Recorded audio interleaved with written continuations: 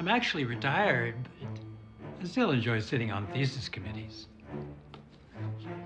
I like the free cookies they serve at the defense. There will definitely be free cookies. I,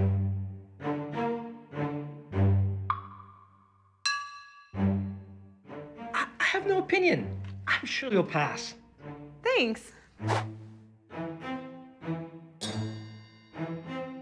Honestly, I just started here.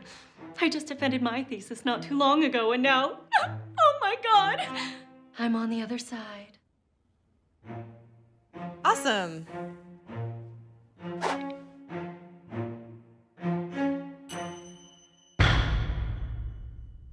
Whatever your advisor says, I strongly oppose it. Okay. Frankly, I think you need to do more experiments. Unless your advisor thinks you need to do more experiments, in which case I do not.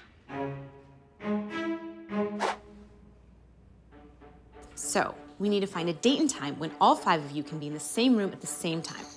What's your availability the next few months? Oh, let's see. Uh, Let me check my schedule. Are you kidding me?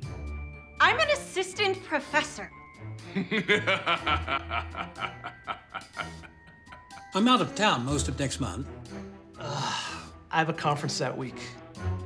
I'm not available in the afternoons. Also, mornings are packed. Mm, no. That week I'm flying to DC. after that, I'm totally free. Except for the month I'll be in Germany. Sorry, I teach class those days. Well, I have a half hour window open every other Sunday around 6 a.m. Does that work? Is Chu available on any of those dates? Because if he is, I am definitely not. Wait, hold on. Let me just move a few of these committee meetings. Yep, that could work. Fine, fine. I suppose that date works. Okay, I think we have it. We have a date. Can you confirm? Yes, I'm adding it to my calendar now. It's on my calendar. I won't forget. My first thesis defense. I'm like a real professor. Yes, yes, fine. Wait, hold on. I totally forgot. Can we reschedule? I have an all day faculty senate meeting that day. Uh, let me see.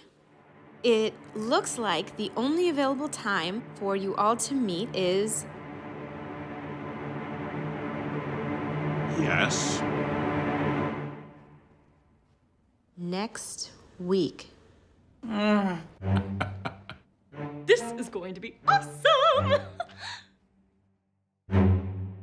I have some good news.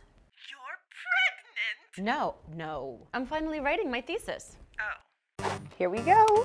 We are at war, gentlemen. Grant funding levels are at an all-time low. Statistically speaking, you're three times more likely to get cancer than you are to get a grant funded by the NIH to cure cancer. Ah, Cecilia! How's the thesis going?